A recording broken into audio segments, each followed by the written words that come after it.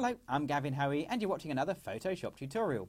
This week I'm going to do something that I've been asked to do by many people. So here we go. We're going to make a pattern, mosaic, collage, call it what you like effect using a single picture. Let's have a look. So what I've got on screen here is a nice simple picture.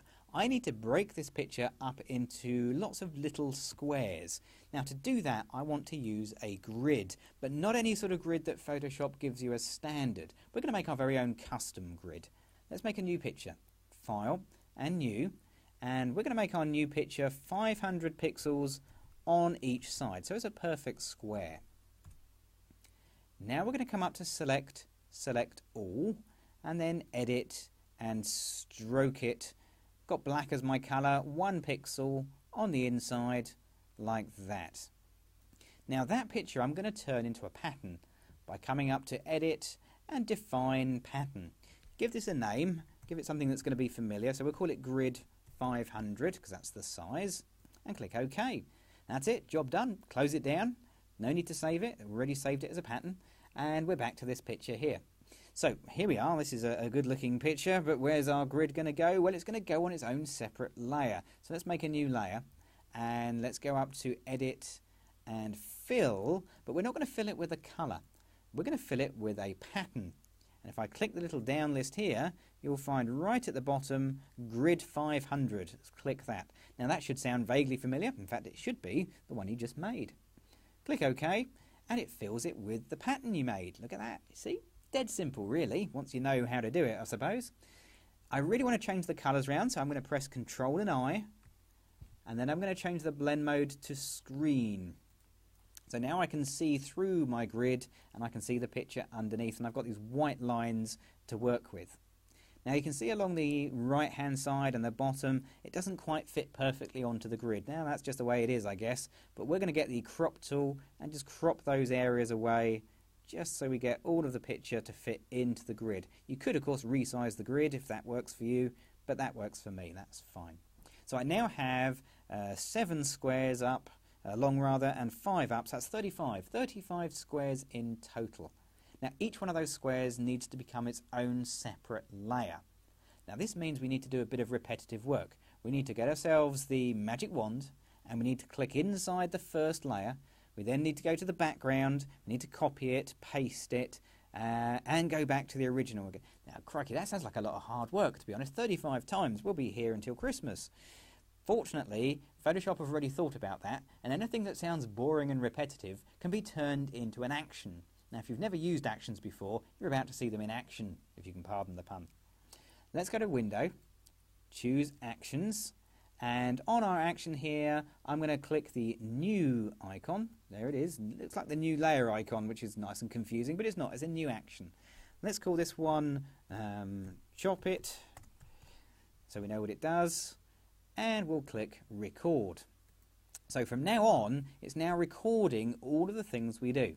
Now, I've already got a selection active. That's good. So let's click on the background layer and let's, on the keyboard, press a keyboard shortcut, Control and J.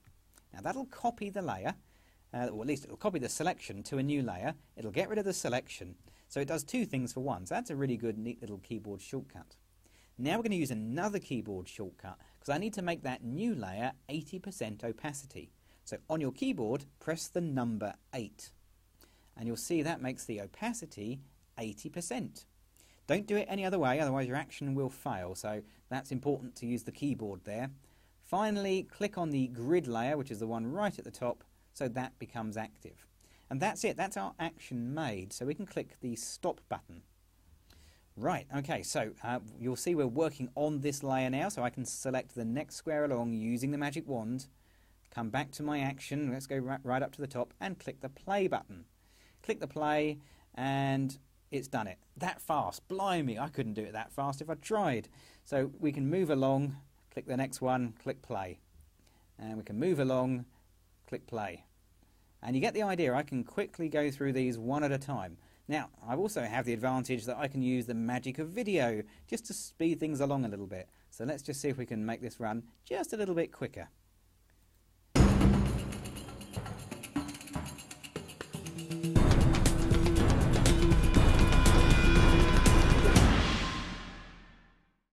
Okay, so we're nearly there. Just a couple more to go, like that, and then the last one.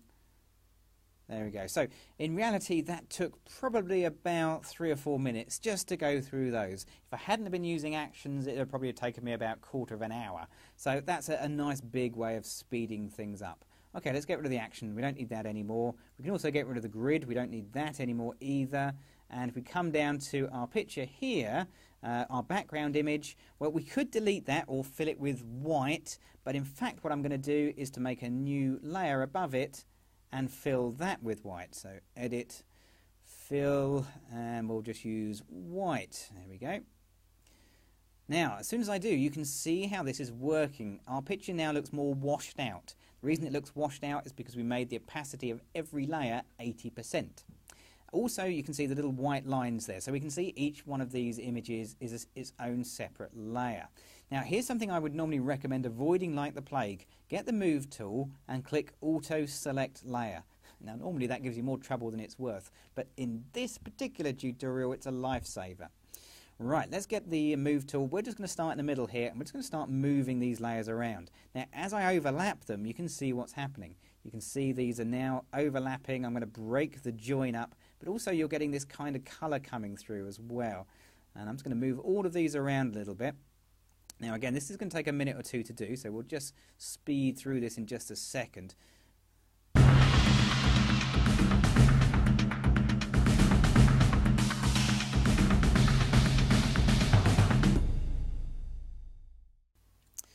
It's really like doing one of those horrible puzzles. You know, the ones where you have a, a picture made up of squares and it's all jumbled up uh, and you've got one blank one. Well, it's a bit like doing that.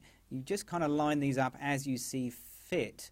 But uh, it's one of those. I don't think you'll ever get it 100% happy. Uh, it's every time you do it, it's going to be slightly different. But uh, there we go. That looks pretty good. I'm happy with that. Okay, now we could stop there quite happily, but there are a couple of things we could do to really give this just an extra little lift. Let's start off by adding a layer style. So I'm going to come up to my very top layer, which should be uh, this one here, I guess, top left corner, and I'm going to click the Layer FX option and choose Drop Shadow. Now the drop shadow I'm going to put in, uh, let's put a distance in here um, and a little bit of a size in here like that as well. Okay, and we'll click OK. Now that puts that little drop shadow FX in, but uh, I've really got to put this on every single layer. So here's another little quick trick to get this faster. Hold the Alt key and drag the FX down and you can drop it onto every single layer one at a time. Uh, again, this is going to take me a minute, so let's speed along a bit quicker.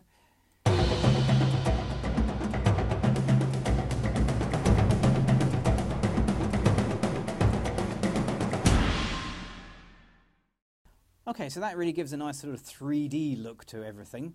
Um, a couple of things we could do. You can see how you got this nice colour around the edges. Well, why not just click on one of these squares? It'll automatically pick it up because you've got Auto Select Layer on, and press Control J. Now that'll duplicate the layer and make that bit a little bit darker. Maybe this one will do the same, like so. So we can go through here and just pick up just two or three or four or five layers and just darken them up a little bit. That one's half dark anyway. So there we go. So I can just pick these up and darken them. And again, it just adds to that 3D look. So some are lighter, some are darker. I kind of like the way that looks. Now our picture's more or less complete, but here's one last little finishing touch. Remember we left the background layer intact and just put a white layer over the top. The white gives us this white background, but if you want to, you can drop the opacity of that white down, if I get the right layer, like that, so you can see a little bit of the original coming back through. And there you go. So there is how you can take one single picture make your own grid, break it up into lots of really small bits, and then combine the bits together to create your own joiner, montage, collage, call it what you like. As long as you like it at the end, then you're going to be happy.